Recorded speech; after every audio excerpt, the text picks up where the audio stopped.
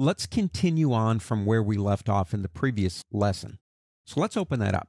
It's in templates, main heading. All of our templates and our web pages, for that matter, will have this kind of heading. Now, we're going to play more with that navigational system later, but this is where we want to start. Now, the first thing is the simple fact that I want to leave this one alone. I want to make one or two more templates. I've got an idea for two templates that we're going to need straight up, and we might, as time goes on, make more. So, what we're going to do is this. Let's go ahead and go up to the word file and say save as. Now, it will ask me about the template doesn't have editable regions. The reason I leave these up, because you have a don't warn me again, I know it's going to ask that question. But if I turn all the stuff off and you don't see it while we're teaching and it comes up for you, you might wonder why I didn't see it. So I leave this stuff on just for that purpose. It gets annoying after a while though. Click OK. Yes, I know. Now we're going to call this one main body. Okay, something like that. It is a template. It will be in the templates folder, and that's exactly where it's putting it. Click Save. Now, we don't need main heading anymore. They're the same thing. And of course, if we try to close it, it's going to warn us again. And I'm just going to click OK, click through that. You'll probably want to turn those warnings off once you get comfortable with them. Okay, what are we going to do here? Well, here we're going to create a generic template that has a generic area for body stuff, content, that we can kind of conform to just about anything we want. That'll be our first one. So let's go into split view. Now in split view, I just like working here. The main thing that we're going to do basically is we're going to add another section.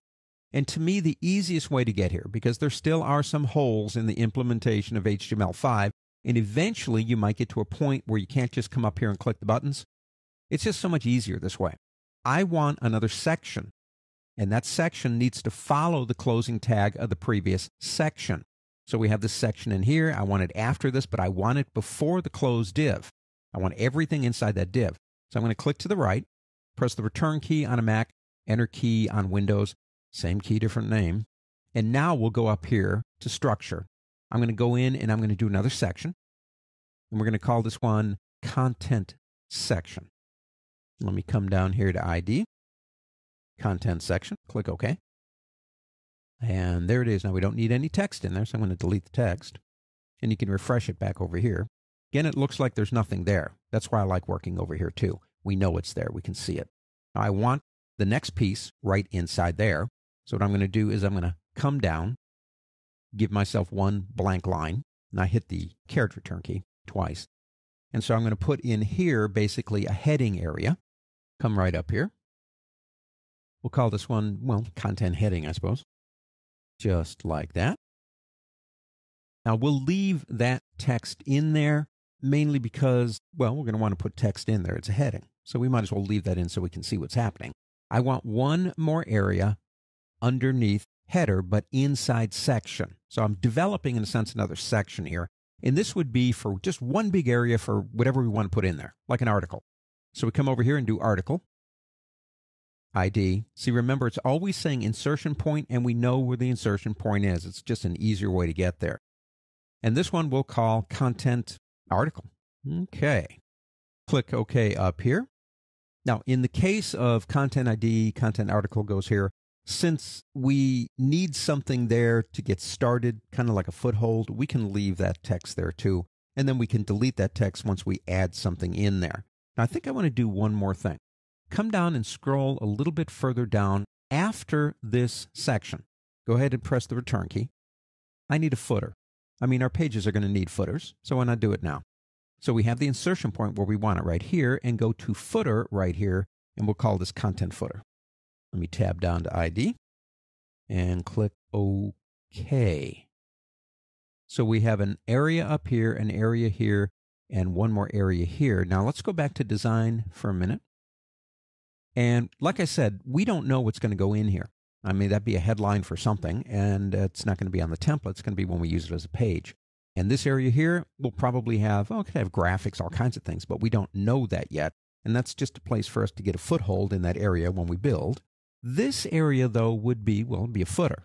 So I might actually go in here and do something like, well, how about put a footer in there? Now we could type in copyright 2013, blah, blah, blah, if you want to, but don't forget, in the previous chapter, when we looked at snippets, we made a snippet that was text that was like a footer.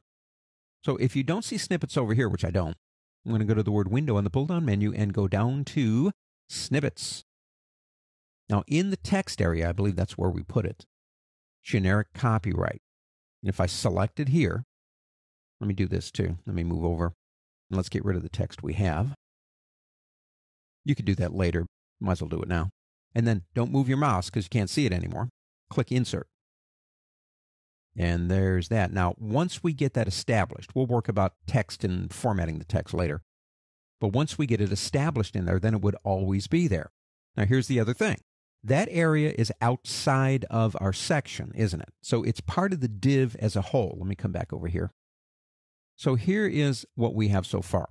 Here's our div here. That yellow text is actually that library item, and it goes down to there. Inside there is this section that goes from here to here and includes our headings and navigation. And inside this section right here, it includes a content heading and an article area. And then outside that section, coming back out is a footer, and then we close the div off. So we're kind of nesting things in, but don't forget one thing everything gets inherited from what's above it.